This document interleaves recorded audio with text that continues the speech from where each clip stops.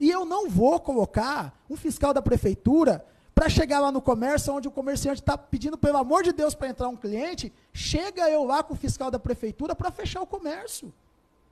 Eu não vou fazer isso. Não é isso que vai resolver o problema da pandemia em Cacoal e no estado de Rondônia. Respeito a decisão do governo do estado, sou governo do estado, mas nesse quesito eu acredito, entendo que quem tem que legislar no âmbito do município é o prefeito municipal. E eu entendo, e o empresariado de Cacoal e as pessoas também entendem que estão mantendo, né, de fato ali o distanciamento, estão colocando nas portas das lojas álcool em gel. Agora fecha o comércio, o povo vai para casa, o pessoal vai ficar em casa? Não vai. Não vai ficar em casa. O camarada vai achar uma chácara para ir, ele vai arrumar um churrasco para ele ir. Ele vai, ó, o único, o último lugar que ele vai ficar é em casa. Então não posso fazer isso. A nossa cidade é uma cidade próspera. Quando eu mando o fiscal da prefeitura entrar dentro do estabelecimento, que a pessoa lutou a vida toda para conquistar e manter aqueles empregos, eu fecho as portas daquele comércio, o que, que eu vou fazer com esse funcionário? O que, que eu vou fazer com esse empregador?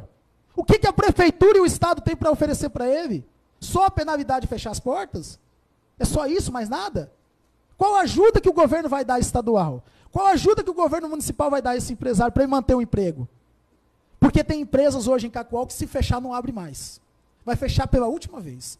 Não abre mais. A gente sabe A disso. próxima, pla a próxima placa aonde fechar essa empresa é a placa de aluga-se. Aluga-se para quem?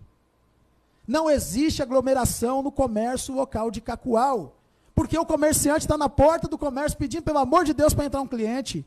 Está tendo aglomeração lá na fila da Caixa Econômica. Fecha a Caixa Econômica. Baixa um decreto estadual para fechar a Caixa Econômica. Baixa um decreto estadual para fechar o Banco do Brasil. Os mercados estão lotados.